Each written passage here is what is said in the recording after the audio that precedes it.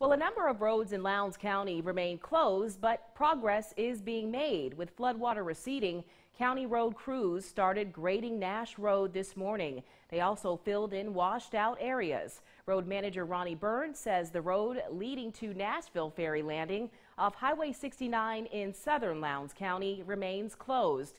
Now that includes Spurlock and August Landing roads as well. Portions of Old Macon and Nashville Ferry are also closed just to name a few.